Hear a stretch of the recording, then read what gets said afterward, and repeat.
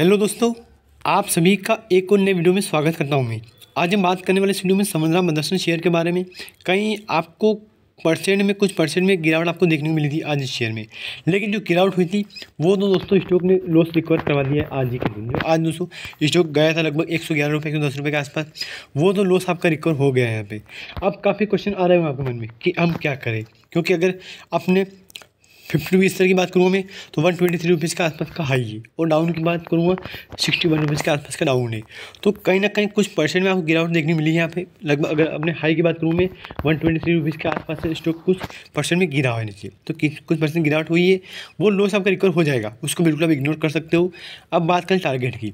Target क्या लेके चलना है? देखो, अगर आप इसमें इन्वेस्ट कर रहे हो तो आप शॉर्ट टाइम के लिए कर रहे हो शॉर्ट टाइम आपको one hundred thirty five rupees का टारगेट आपको लेके चलना है। शॉर्ट टाइम के लिए आने वाले दस से पंद्रह दिन के लिए। अगर लॉन्ग टर्म इन्वेस्ट किया है आपने या कर रहे हो तो लॉन्ग टर्म आपको कम से कम दो सौ रुपये की प्राइस या तीन सौ रुपये की प्राइस आपको लेके चलना होगा। अगर आपके मन में कोई क्वेश्चन आ रहा है, आप कमेंट करके मुझे बता सकते हो। अगर आप इसमें इन्वेस्ट कर रहे हो तो एक बार रिसर्च कर ले स्टडी करके आप इसमें इन्वेस्ट करें। धन्यवाद।